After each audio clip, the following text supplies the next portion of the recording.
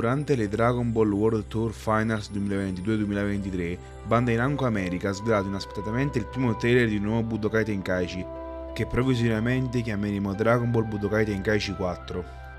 Il taser, realizzato con quella che ci auguriamo essere la grafica del gioco, mostra un Goku trasformarsi in Super Saiyan Blue, con però l'iconica pose che assomiglia nella serie videoludica.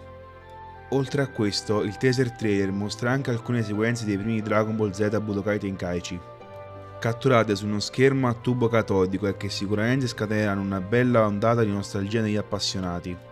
A concludere questo video troviamo poi la fatidica scritta che conferma il tutto, un nuovo Budokai Tenkaichi sta per iniziare, purtroppo il materiale mostrato non è definitivo ed è relativo al materiale di sviluppo.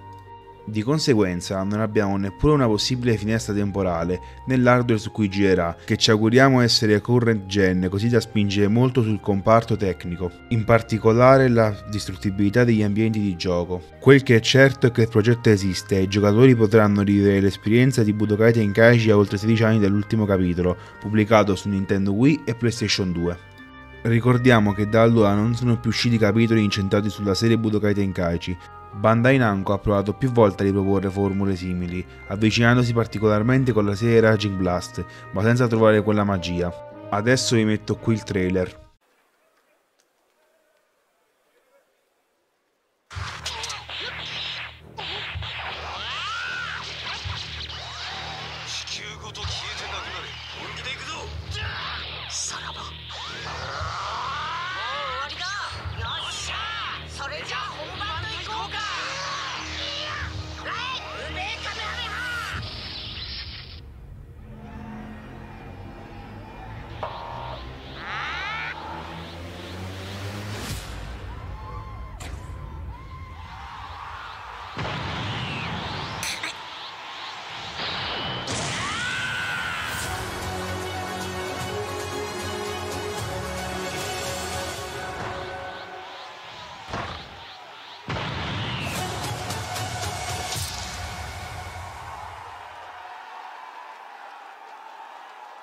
'Quindi ragazzi il video finisce qui, mi raccomando iscrivetevi al canale e attivate la campanellina per restare aggiornati sulle nuove notizie.